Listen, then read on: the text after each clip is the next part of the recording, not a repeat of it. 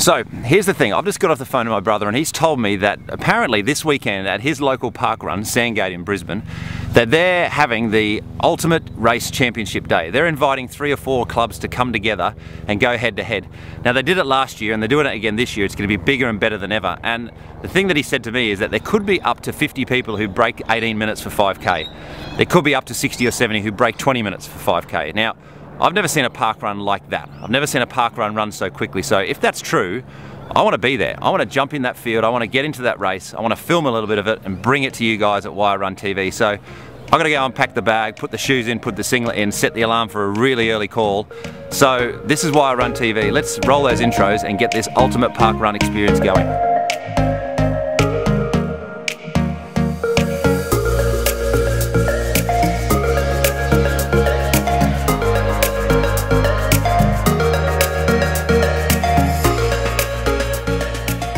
So here we are on the northern suburbs of Brisbane at Sandgate. This is the Sandgate Park Run. Uh, this is my brother's local park run. He gave me a bit of a tip that there could be up to 50 or 70 people that go close to breaking 18 minutes.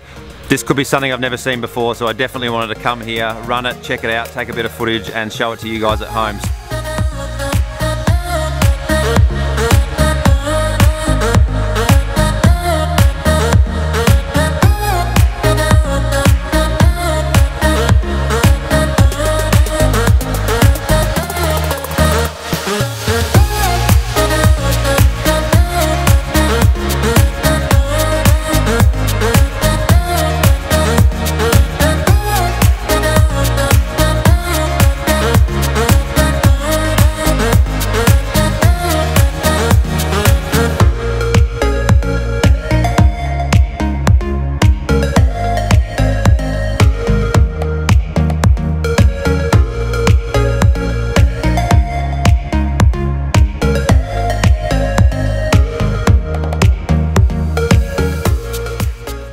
Whoa, so what an absolutely incredible event that was. It certainly brought out the best in my racing. I haven't run park run that fast uh, for a long, long time.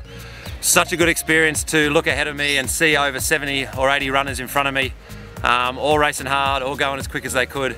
Big shout out to uh, my mate Miles Burfield and my brother Carl. Uh, they raced amazingly. Miles to run low 17s and come 48th is just shows the quality of this day, this park run um, and my brother to run a, a PB and to come uh, 68th I think he came and to run a low 18 minutes is just absolutely outstanding.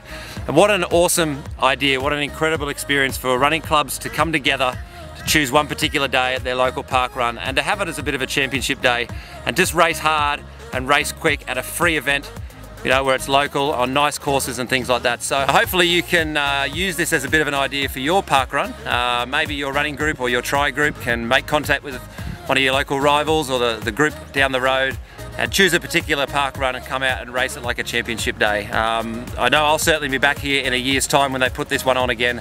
I'm hoping to go quicker and faster again.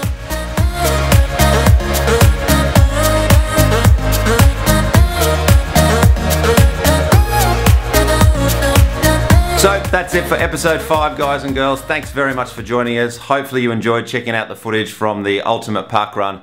Certainly a park run that I really enjoyed racing and taking part in. I've never been involved in one where 50 people have gone close to breaking 17 and 100 people close to breaking that 20 minute mark. So just an awesome day. If you know of some famous park runs from around the world, some big days that have been had at park run, uh, put a little comment in the sections below. I'd love to check it out and see what happened on those days. For the next seven days, if you're racing, best of luck to you. If you're training, hopefully you manage to get lots of rest and eat well. And we'll check in with you in seven days time. Cheers.